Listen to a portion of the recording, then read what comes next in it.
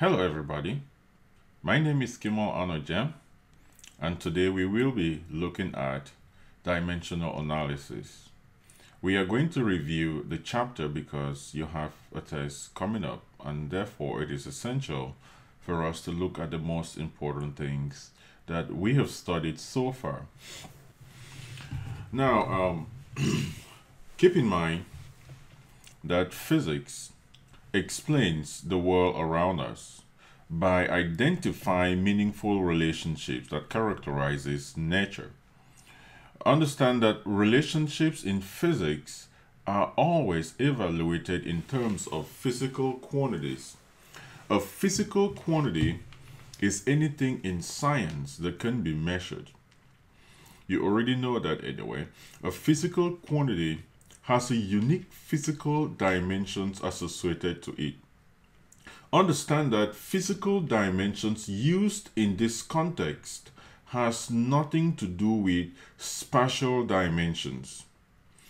A physical quantity is anything in science that can be measured and therefore for every physical quantity we can assign a value to that quantity via some sort of measurement. So in, in, in order to conclude, keep in mind that physics is all about relationships. Physics is all about relationships. In other words, the primordial objective for this course is for you to be able to identify meaningful relationships between physical quantities. And for you to do that, dimensions or dimensional analysis will play a major role in this class. Physical dimensions generally is a generic description of the kind of a physical quantity being measured. Understand that it is a generic description of the kind of the physical quantity being measured. Every physical quantity has a specific dimensions. Let me say that again. Every given physical quantities have a specific physical dimension associated to it. And by dimensions, I mean the physical nature of that given physical quantity. In other words, dimensional analysis, I cannot overemphasize this, describes or basically is a generic description of the kind of physical quantity being measured. The physical dimension of a given quantity is usually determined by how that quantity is measured.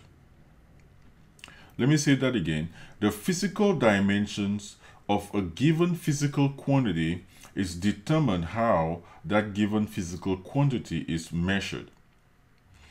And to measure, we need to choose or define an appropriate unit of measurements. In other words, dimensions imply units, but units is not the same thing as dimensions. Let me put it this way. Units is not the same thing as dimensions. A system of units is a complete set of units that can measure any physical quantity in the universe.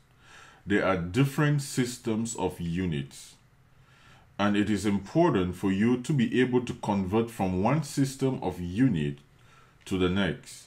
In this course, we will be dealing with the SI system of unit.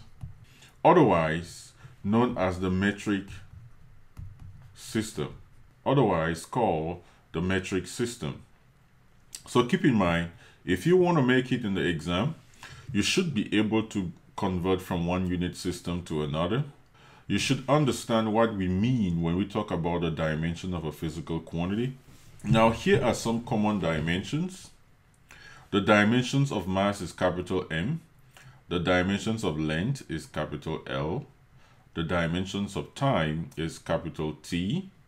Velocity is defined as displacement over time, which means that the dimensions of velocity is the dimensions of displacement divided by the dimensions of time. This is L over T, which is basically LT minus 1. This explains how I got this. So the dimensions of velocity is just LT minus 1. So this table basically gives you the dimensions of some very common physical quantities that you will encounter in this course. Now it is not meant for you to memorize, though memorizing is important. You should be able to derive physical the dimensions of these physical quantities and quite frankly it's easy. Take for example force is defined as mass times acceleration, which implies that the dimensions of force is equal to the dimensions of mass multiplied by the dimensions of acceleration. Therefore, the dimensions of force is that is equal to m lt minus 2, which we can say that it is m l t minus 2. So this will give us the dimensions of force.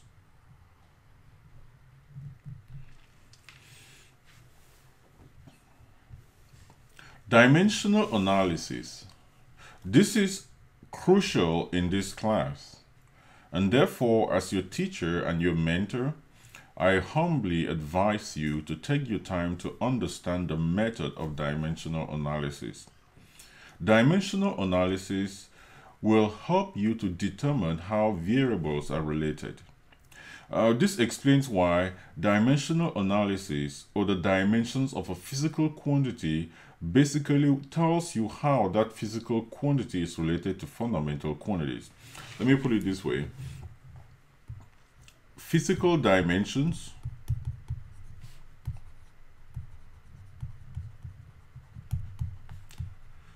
will show you how a physical quantity is related to base quantities. We'll show you how a given quantity is related to base quantities. Now, it is important for you to understand that dimensional analysis will provide a way for you to track down what symbols mean through long calculations. This is particularly very, very useful. This is very useful for AP Physics. This is very, very useful for AP Physics. At the same time, dimensional analysis will help you to understand the formulas that you're actually using. In other words, it provides you with a means that will help you to understand the meaning of the symbols that you're using. And at the same time, it gives you a systematic process to track down the physical dimensions of every given quantity keep in mind, keep in mind that almost all questions in AP Physics, especially AP Physics 1, is purely algebraic. And for you to track down the correctness of your equation, for you to keep track of the meaning of all your symbols, dimensional analysis has to become your best friend because it will help you to determine the meaning of the symbols you are using and also to show you what that equation stands for. In order to use dimensional analysis as a problem solving tool, you must work problems using symbolic expressions. You must work problems using symbolic expressions rather than numerical values. Understand that physics is about relationships, not values. And when you jump straight away into values, you forfeit your ability to see how the relationships fit together and therefore limits your learning. Hence, I recommend that you should make it a habit to work problems symbolically every problem, every time, no exceptions. Keep that in mind. Physics is simply about relationships. The whole objective of this course is so that by the end of this course, you should be able to determine meaningful relationships between physical quantities. And therefore, in order for you to do this, you need to practice solving problems the right way. And one of the means, or one of the how to solve problems the right ways involves using symbolic expressions. Because using symbolic expressions will help you to be able to use dimensional analysis to track down the meaning of all the expressions that you've written down.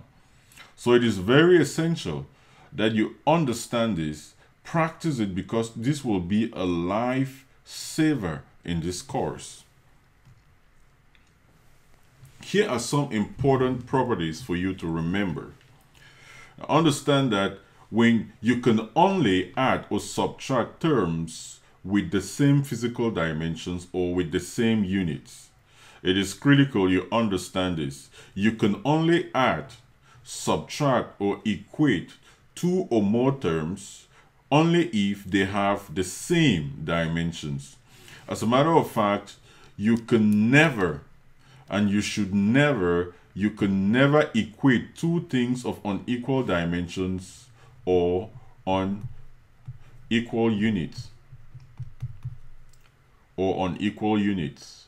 Specifically for AP Physics C, when you differentiate or integrate a physical quantity, the result will have the same physical dimensions as the original physical quantity. Let me put it this way.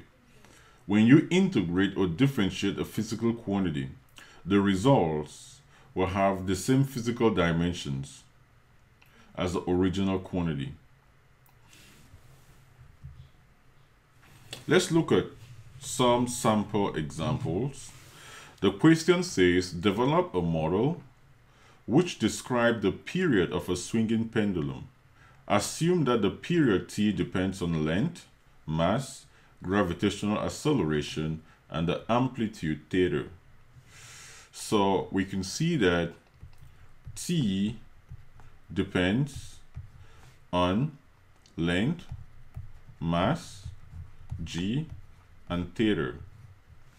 If you recall in class, theta is dimensionless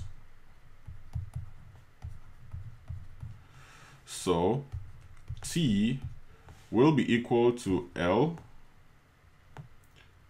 raised to the power X, M raised to the power Y, G raised to the power Z, and the theta.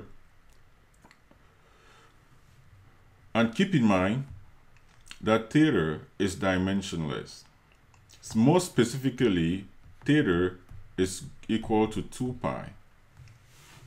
So we can see that the dimensions of t will be equal to 2 pi, the dimensions of L, all raised to the power x, the dimensions of m, all raised to the power y, and the dimensions of g, all raised to the power z. This would mean that capital T is equal to 2 pi capital L all raised to the power x, capital M all raised to the power y, LT minus 2 all raised to the power z. So we have t equal to 2 pi lx my lz t minus 2z. We have m and L here, but we don't have M and L on the right hand side. So we could say that M is raised to the power 0, L is raised to the power 0, T, all of this should be equal to 2 pi L x plus Z multiplied by my multiplied by t minus 2z. For the right hand side to be equivalent to the left hand side, their corresponding indices must be the same. This means that y is equal to 0, x plus z is equal to 0, and negative 2z is equal to 1. Therefore, z is equal to negative 1 half, and therefore um, x is equal to 1 half. If this is the case, then the period t will be equal to 2 pi L raised to the power 1 half multiplied by g raised to the power negative 1 half. Therefore, the period of a swinging pendulum is equal to 2 pi the square root of L over g. So using the method of dimensional analysis, we have actually de derived an expression that shows how the period of a swinging pendulum depends on the length as well as the acceleration due to gravity. Amazingly, it is independent of the mass of the object. It is totally independent of the mass of the object. Now let's look at another example.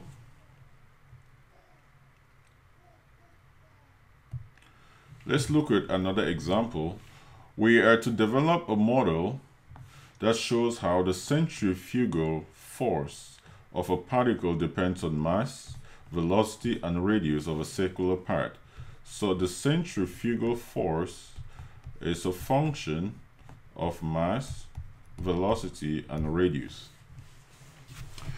So this means that F is equal to M raised to the power X, V raised to the power Y, and R raised to the power Z.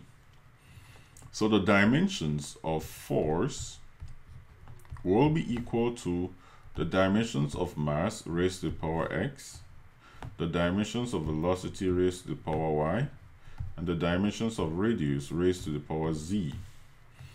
The dimensions of force is m, l, t minus 2. So this is capital mx, ly, t minus y, and lz. Looking at the right and the left hand side, you can automatically see that x is equal to 1. Um, y plus z is equal to 1 and z is equal to uh, there should be